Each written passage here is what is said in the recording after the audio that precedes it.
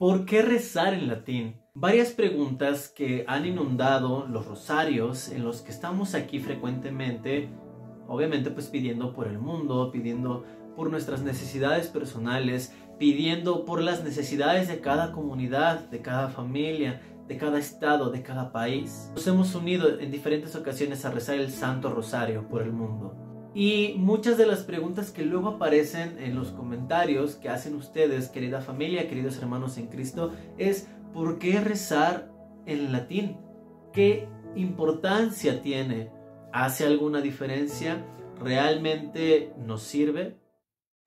¿Qué tal querida familia, queridos hermanos en Cristo? Mi nombre es Omar Mondragón y hoy vengo a estar aquí con ustedes para responder una pregunta que como ya vieron en la introducción del video, pues nos salta, ¿no?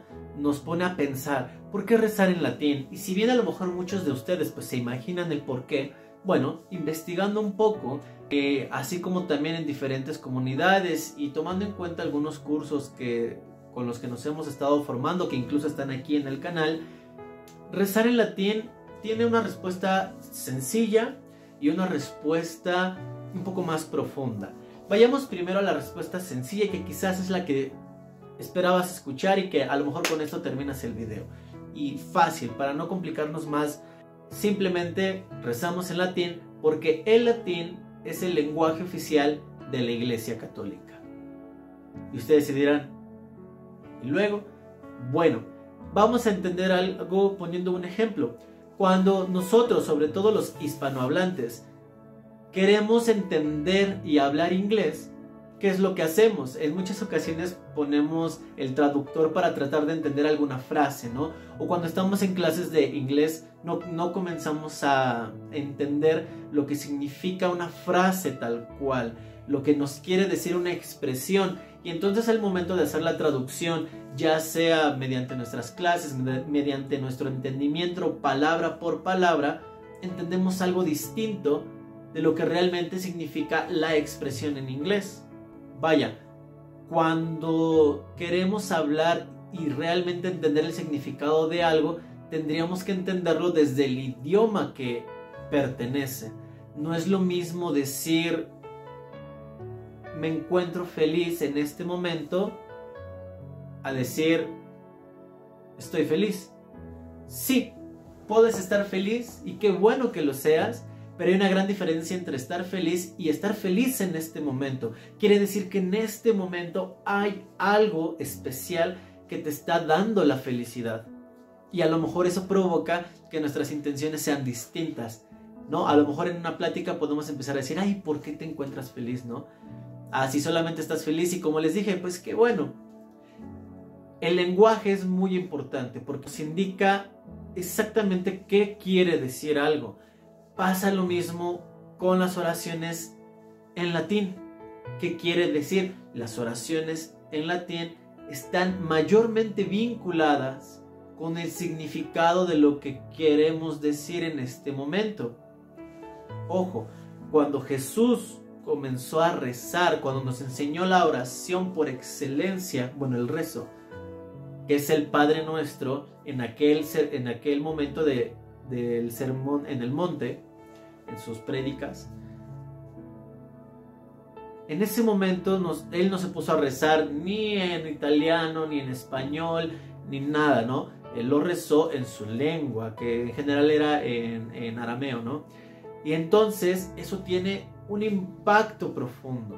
Eso tiene un mayor impacto. Cada palabra, cada expresión, cada entonación es diferente. Es diferente decir Padre nuestro a Papá que estás en el cielo y que todopoderoso eres y estás entre nosotros. Bendito sea tu reino. No, hay una gran diferencia. Entonces el latín nos acerca a la universalidad que impacta y que refiere cada oración, cada rezo. El latín es universal. El latín es algo que todos podemos eh, entender y que podemos significar siempre que lo estemos aprendiendo. Es inmutable. Entonces, el latín es la lengua oficial de nuestra Iglesia Católica. en latín se encuentran muchos de los textos litúrgicos de la parte del oeste.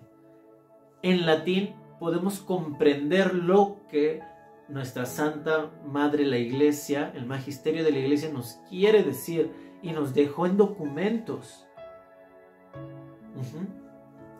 Esa es la importancia de rezar en latín. Y sin querer me empecé a pasar a la segunda parte que era la respuesta profunda. La respuesta corta era, más bien, la respuesta corta es rezar en latín porque es la lengua madre de la Iglesia Católica. Punto. La respuesta larga es justamente todo esto. Incluso el latín fue consagrado en la pasión inscrita en la cruz de Jesucristo. Desde entonces, la lengua del latín está consagrada y por eso se considera completamente la lengua madre de nuestra iglesia. Desde entonces ha perdurado, no se ha transformado, sigue teniendo el significado que es al día de hoy. Hemos inventado muchísimos populismos y modismos con el cual nos referimos a las cosas. Antes se hacía de una manera, hoy se hace de otra. Veámoslo con nuestros hijos, con los más jóvenes, con los niños. ¿No? A lo mejor incluso ahorita yo utilicé algunos términos que no puedan comprender todos, es justamente por eso, porque se va transformando. En la Iglesia Católica no lo es, se mantiene la esencia de lo que se habla, de lo que se dice, por eso es universal, por eso es inmutable. ¿Ok familia? Entonces realmente se tendría una conexión más poderosa, más eh, intensa al momento de rezar en latín. Y de hecho, el, bueno, en paz descanse, el Papa Benedicto XVI lo que nos mandó decir es que justamente aprendiéramos los rezos en latín para entender realmente su significado y el impacto que tiene al momento de orar de esta manera. Entonces, Querida familia, queridos hermanos en Cristo, espero que les haya podido servir esta respuesta, que si bien quizás eh, tenga mucho más profundidad, pues a lo mejor ya es tarea de cada uno de nosotros el investigar. Nunca se queden con lo que se dice en cada video, con lo que nos dicen en la Santa Misa, en la homilía, con lo que luego escuchamos en los rosarios.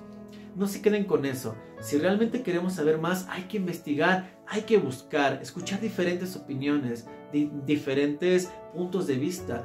Eso va a enriquecer y nos hace crecer en el conocimiento. Ojo, que el conocimiento no es lo mismo que la sabiduría. Sin embargo, para llegar a la, sabiduría también se necesita conocimiento. Entonces yo les invito a eso, a que seamos autodidactas, a que busquemos, a que investiguemos un poco más. No nos quedemos siempre con lo bonito, con las palabras que queremos escuchar, siempre vayamos más allá. Pero este video justamente es para eso, para responder a esas inquietudes y espero que les haya podido servir. Familia, nosotros nos estamos viendo aquí en el canal. No olviden suscribirse, dejar su me gusta porque va a haber una dinámica interesante. Estamos cerca de llegar a los 25 mil suscriptores y eso nos sucede todos los días. Así que vamos a estar aquí haciendo algo muy importante, así que no se pierdan los rosarios, sobre todo en este mes de marzo que se cumplen tres años de rezar el rosario por el mundo a través de las redes sociales.